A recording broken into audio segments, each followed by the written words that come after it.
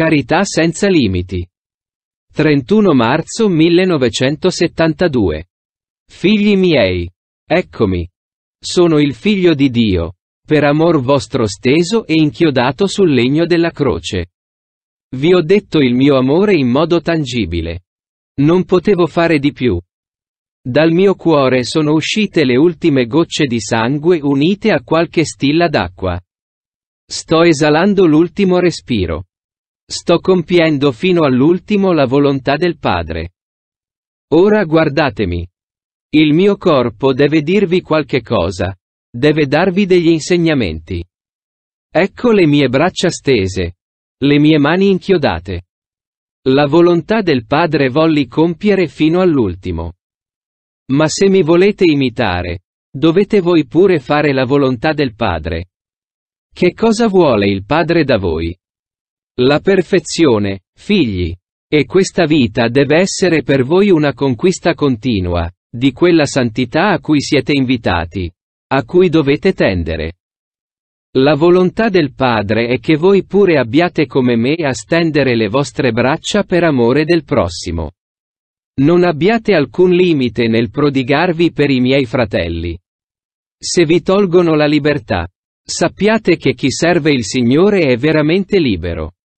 Guardate ancora il mio corpo.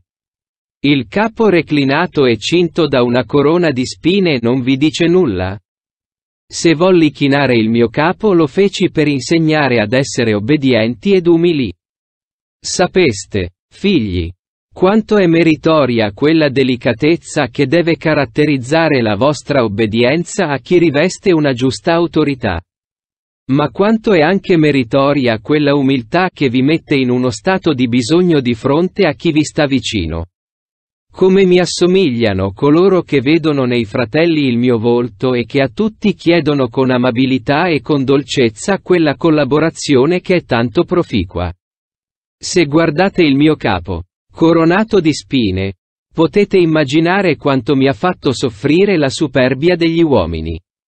Ogni spina rappresenta una categoria di persone e quando la soldataglia conficcò quelle spine. Io vedevo e pensavo alla superbia degli uomini che, negando la verità della fede, non mi avrebbero accettato come Redentore e Salvatore. Vi aiuti questo pensiero a vincervi e a combattere quel terribile difetto della superbia, che basta da solo a chiudere le porte del paradiso. Siate umili e benedite il Signore che, per mezzo mio, vi vuole indicare come e fino a che punto dovete umiliarvi. Guardatemi ancora, figli. Vedete il mio corpo nudo. Se con questa nudità dovetti espiare i peccati di impurità, Dovevo anche darvi un esempio di estrema povertà. Nudo volli apparire agli occhi degli uomini, per dirvi quanto sia necessario spogliarsi di ogni attaccamento alle cose e dalle persone del mondo. Il distacco dai vostri beni, dalle vostre cose, da ciò che passa specialmente da voi stessi. Ecco, figli, come si imita. E da me, che vi apro le braccia per dirvi il mio amore, voi dovete. Voi potete rispondermi imitando il mio atteggiamento di Dio crocifisso. Vi apro la ferita del cuore, fatta da Longino con la lancia. E vi accolgo uno a uno. C'è posto per tutti. Ma un posto di privilegio l'avete voi che mi amate e desiderate farmi amare. Chi conosce questo libro, il crocifisso, può leggervi le meditazioni più sapienti e più profonde. Chi ama il crocifisso e raccoglie dalle piaghe del suo corpo il sangue che sgorga, ne può fare un'offerta quanto mai gradita al Padre. Il sangue di Abele gridava vendetta al Padre per l'uccisore Caino. Ma il mio sangue, raccolto dai miei crocifissi ed offerto al Padre, è voce che invoca misericordia e pietà. Figli, sono rimasto con voi ed ho goduto della vostra serenità.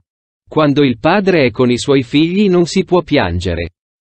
Non dimenticate però che a ciascuno di voi con sincerità posso dire, figlio, o figlia, ricordati. Io sono morto in croce per te e da te attendo l'attestazione del tuo amore. Non partite, vi prego, da questo luogo santo senza aver concretizzato i vostri propositi. Non molti, ma semplici e chiari. Vi benedico, figli miei, e vi abbraccio per unirmi a voi in una comunione perfetta. Il dono che il vostro ministro mi ha chiesto per tutti sarà esaudito.